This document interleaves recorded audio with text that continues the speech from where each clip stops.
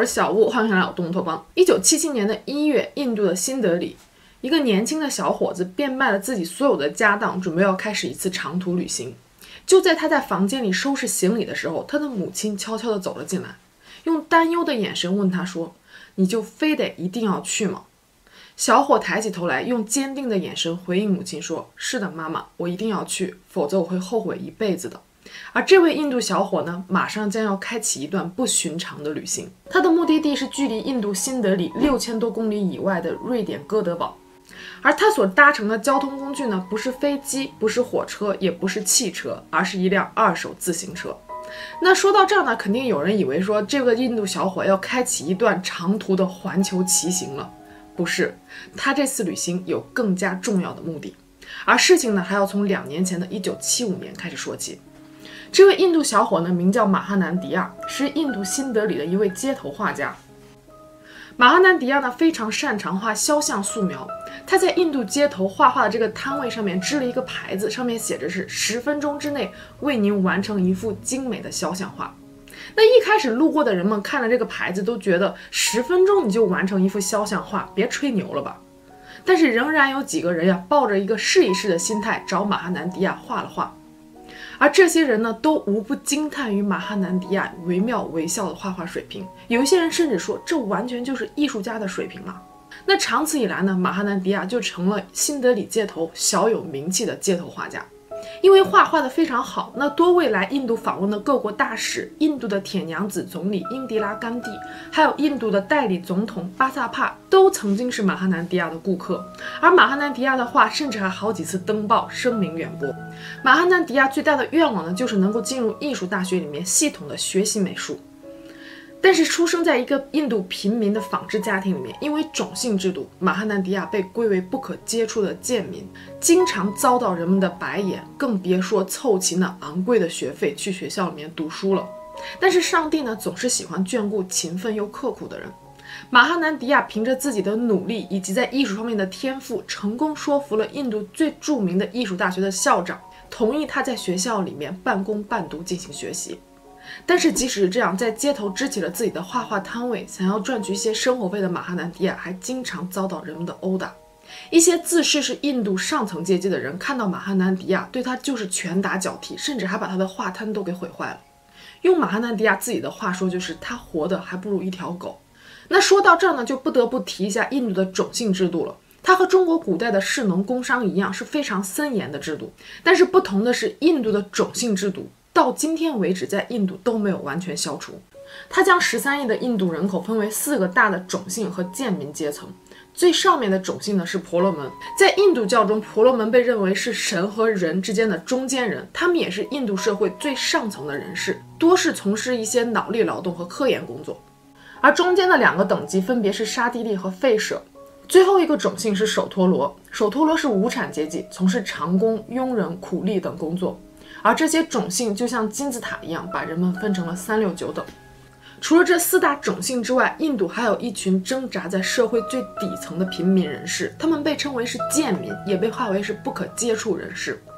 而贱民阶层呢，在印度占到百分之二十，也就是两亿多人口都是属于这个阶层的。那马哈南迪亚呢，就是其中的一个。在印度，百分之九十的人都会相信占星术，他们认为星体在天空中不断的运动。随着位置的变化而产生不同的影响，影响着国家和人民的命运，也影响着每个人的生活。这一天，马哈南迪亚的母亲找到了当地一位非常有名的占星师，想要让他帮忙占卜一下儿子的未来。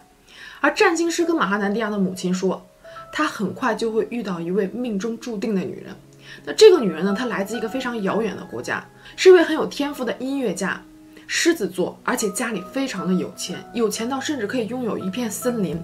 那占星师的这番话呢，仿佛是给马哈南迪亚一家灰暗的生活带去了一丝丝希望。回家之后呢，马哈南迪亚的母亲就兴高采烈地拉着儿子的手，把占星师的话告诉了儿子。可是没想到，马哈南迪亚却跟母亲说：“妈妈，你真的相信这些吗？咱们是贱民，这种事情永远都不会发生在我们身上的。”醒醒。几个月之后，一九七五年冬天的一个晚上，马哈南迪亚在新德里的一个广场上迎来他的最后一名顾客，十九岁的瑞典少女夏洛特·冯·谢德文。夏洛特呢，当时是在英国伦敦上学，这次来印度呢，是他完成了伦敦的学业之后来这里旅游的。那他就听说呀，在印度新德里街头有位非常有名的肖像画家，于是夏洛特呢就找到了马哈南迪亚，想要让他帮自己也画一幅肖像画。当马哈南迪亚第一眼看到夏洛特的时候，就深深的被他所吸引了。一头金黄色的长发，忽闪忽闪的大眼睛，这也许就是所谓的一见钟情吧。但是不知道是不是因为面对自己的心上人紧张，还是有其他别的原因，马哈南迪亚当晚画的画呀，没有让夏洛特满意。就当夏洛特拿着画失望的要离开的时候，马哈南迪亚突然拉住了他，对他说：“请你明天再回来，我再帮你重新画一幅，这一次一定让你满意。”第二天呢，夏洛特如约又找到了马哈南迪亚，可是今天的结果还是让他不满意。就这样一连几天，马哈南迪亚让夏洛特隔一天再回来。那说到这儿呢，有经验的小伙伴可能都已经察觉了，马哈南迪亚正用他最笨拙的方式在追求自己的心上人。他觉得只有把这个画画得非常的糟糕，然后让夏洛特第二天再回来，他才有机会再一次见到自己的女神。在几天画画的过程中，马哈南迪亚甚至还想起了妈妈曾经告诉过他的占星师的预言。鬼使神差的，马哈南迪亚问了夏洛特的情况。那马哈南迪亚得知夏洛特来自瑞典，一个距离印度有六千四百多公里的国家。他是狮子座，在伦敦的音乐学院主修钢琴。而且夏洛特家里面是贵族，在瑞典真的拥有一整片森林，这简直太不可思议了！难道说占星师所说的话是真的吗？那与此同时呢？通过几天的交谈，夏洛特早就已经看穿了马哈南迪亚笨拙的有一些可爱的小心思，他同时也被马哈南迪亚的质朴以及才华所吸引了，两个人很快就坠入了爱河，而身份阶级差异的悬殊呢，并没有影响两个人的感情。两个人互相陪伴，聊文学，聊艺术，聊音乐，似乎每天都有说不完的话题。虽然说两人认识的时间并不长，但是心灵上的碰撞让他们觉得似乎已经认识彼此很久很久了。马哈南迪亚带着夏洛特回到了自己的家乡，见了自己的父母，并且在印度自己的家乡举办了一场传统的小型婚礼。可是毕竟夏洛特是来这里旅游的，时间飞逝，夏洛特离开的日子到了。这一天，夏洛特告诉马哈南迪亚说他要走了，并且给马哈南迪亚买了一张机票，问马哈南迪亚说愿不愿意跟他回瑞典去看看他的家乡，见见他的父母。那马哈南迪亚当然舍不得自己的爱人，可是那个时候他还在上学，他想要完成自己的学业，更重要的是他想要堂堂正正混出一点名堂之后到瑞典去找自己的爱人。在临别时，马哈南迪亚安慰夏洛特说：“我一定很快就会去找你的，放心吧。”可是这一别在那个年代来说，很可能就是两个人的永别了。那个年代没有电话，没有电脑，没有网络，信息非常的不发达，而且是两个相隔这么远的国家，这种异国恋真的能够持续吗？一年多过去了，两个人保持着书信的来往，终于马哈南迪亚迎来了他毕业的日子。对于马哈南迪亚来说，夏洛特已经是自己的妻子了，他始终都没有忘记在临别时他对夏洛特的承诺，他在完成学业之后会到瑞典去找她。可是瑞典那么远，马哈南迪亚就算是变卖了全家人的家当，都不可能负担得起一张昂贵的单程机票，这可怎么办呢？就当马哈南迪亚坐在街上望着街头来来往往穿梭的人群的时候，一个疯狂的想法映入了自己的脑海。他想：我怎么不能骑单车去呢？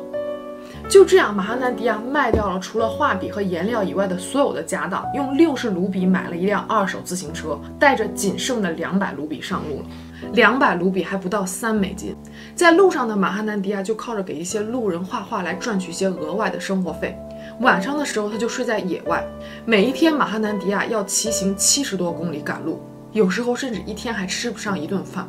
但是这一切的困难和自己想要见到妻子的心比起来都不算什么。在七十年代的时候，很多国家入境都不需要签证，但是无疑也会遇到一些入境边检比较严格的国家。这个时候呀，不知道是不是上帝的眷顾，马哈南迪亚总是能遇到一些好心人，帮助他入境成功。起初在进入阿富汗境内的时候，很多当地人都可以说印度语，那马哈南迪亚还可以和他们沟通。在阿富汗境内，马哈南迪亚甚至还遇到了一位好心的旅店老板，为他提供了住宿、吃的东西以及洗衣房。后来进入了其他国家，虽然说他们语言不通，但是马哈南迪亚总是能用绘画来表达自己的意思。用他的话说，就是艺术是无国界的，它是全世界通用的语言。从一九七七年一月二十二日开始，马哈南迪亚历经了四个月零六天，整整一百二十多天，穿越了阿富汗、伊朗、土耳其、保加利亚、南斯拉夫、德国、奥地利、丹麦等国家，终于在五月二十八日的时候来到了瑞典的边境。瑞典的边检人员问马哈南迪亚说：“你来瑞典的目的？”那马哈南迪亚告诉边检人员说自己是骑车从印度来寻找自己的爱人的。这个时候听了这话的边检人员不禁哈哈大笑，说：“哥们儿，你是从印度骑自行车来瑞典的？你别开玩笑了。”直到边检人员拨通了夏洛特家中的电话，才得知这一切原来都是真的，同时也被马哈南迪亚的痴情和勇气所打动，给他放了心。就这样跨越千山万水，马哈南迪亚终于来到了夏洛特的家乡瑞典的哥德堡。起初呢，夏洛特的父母是非常反对这门亲事的，毕竟嘛，两个家庭悬殊实在是太大了。夏洛特一家怎么说也算是瑞典小有名气的贵族。但是看着这不远万里骑着自行车来寻妻的印度女婿，夏洛特的父母也终于松了口。一九七八年，马哈南迪亚和夏洛特在瑞典正式完成了婚礼。马哈南迪亚和夏洛特婚后生了一双儿女，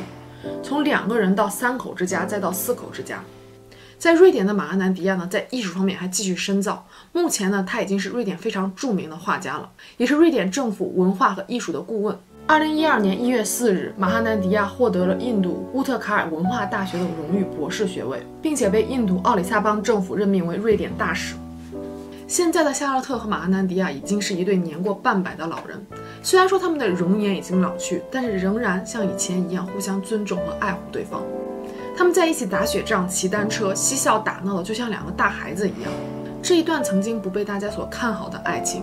却一晃眼携手走过了四十年。马哈南迪亚曾经在一次采访中说到：“他不明白为什么人们都惊讶于他可以骑自行车跨越六千四百多公里来到瑞典来寻找自己的妻子。在马哈南迪亚看来，任何人、任何事都不可以阻碍他和夏洛特之间的感情。年迈的马哈南迪亚还曾经说过：‘我曾经完全不了解欧洲的文化，一切对于我来说都是陌生的。但是多年以来，夏洛特在一点点的支持着我，他对于我来说是如此的特别。’”我到现在还是深爱着他，就像我们一九七五年初次见面一样。也许这才应该是爱情应有的样子，跨越了种族、阶级、文化、时间和距离，今生执念，岁岁年年，永如初见。好了，今天就到这里的中文希望视频的话，别忘了帮我点赞、评论和转发。那我们下期见喽，拜拜。